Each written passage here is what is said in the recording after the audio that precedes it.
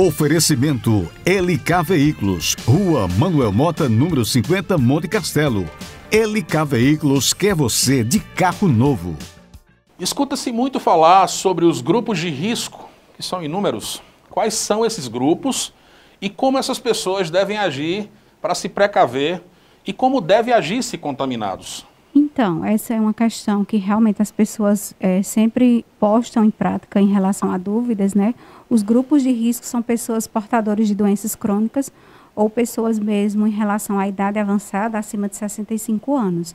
É importante frisar que o grupo de risco ele não tem um risco maior de adquirir a doença. O contágio ele é igual para qualquer grupo.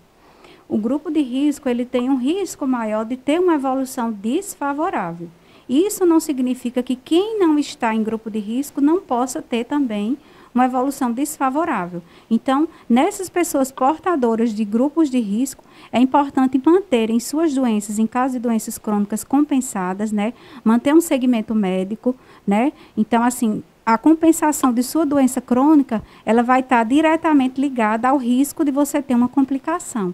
Então, se eu pego um paciente diabético, por exemplo, chamando para a minha área, que sou endocrinologista, se eu pego um diabético compensado, o risco dele evoluir, dele ter um desfecho, uma evolução negativa, com piora, com até mesmo morte, ele é, é menor do que, uma pessoa, do que um diabético que está descompensado. Então, dentro de uma mesma patologia, dentro de uma mesma doença, você pode ter desfechos diversos. O principal risco seria, de fato, a idade.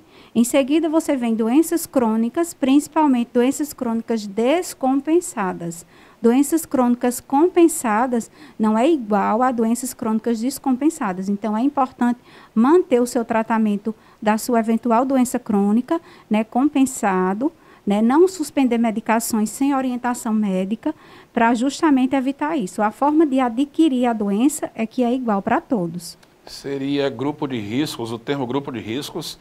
É... Para complicações Isso, e não para Todas as pessoas podem ser vítimas. Podem ser mas vítimas. o desenvolvimento o da desenvolvimento, doença... O desfecho, o desenvolvimento da doença é que pode ser mais grave nas pessoas que têm um risco maior, né? Mas, como eu falei, evidenciando que às vezes você pode não ter nenhuma doença e ter uma complicação. Então, isso não isenta, só Depende muito da carga viral que você recebeu, do seu status imunológico naquela situação.